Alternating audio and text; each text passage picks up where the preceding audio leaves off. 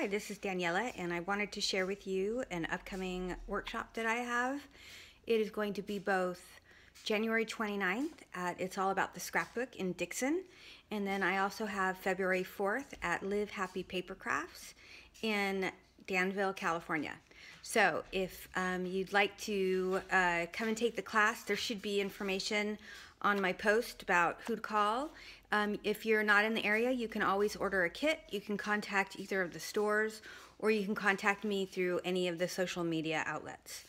Um, this album is a great little album. It is the Square album and it's by Frank Garcia and it's made by Prima. Say hi, Tula. If you can see her way up there in the corner.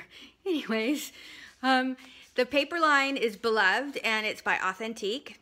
And uh, Authentique is one of my favorite paper lines because they, paper manufacturers, because they use lots of vintage images, but they bring it, uh, bring a modern twist to everything. Um, so me being a vintage lover and me loving a modern clean look as well, this is a perfect combination for me. Um, we're using uh, Tonic Nuvo drops these are the glossy drops and these are turquoise, which are really, really cute. Um, I use them on everything. If you can see, I use the glitter ones down here as well. And uh, so every kit comes with everything that you're gonna see here in the album.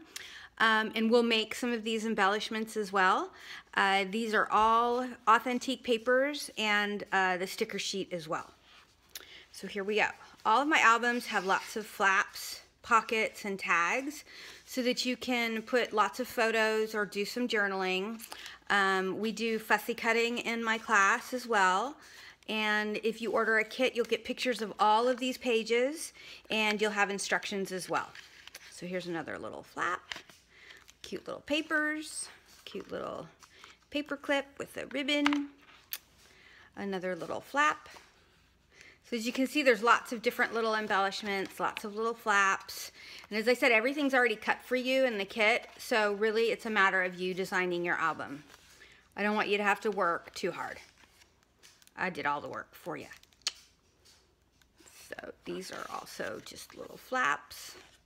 And all of the little stickers are from the sticker sheet. Obviously, I've added a couple little embellishments that were my own that I found um, this one I've made, and it's a little felt heart with a little scalloped heart underneath.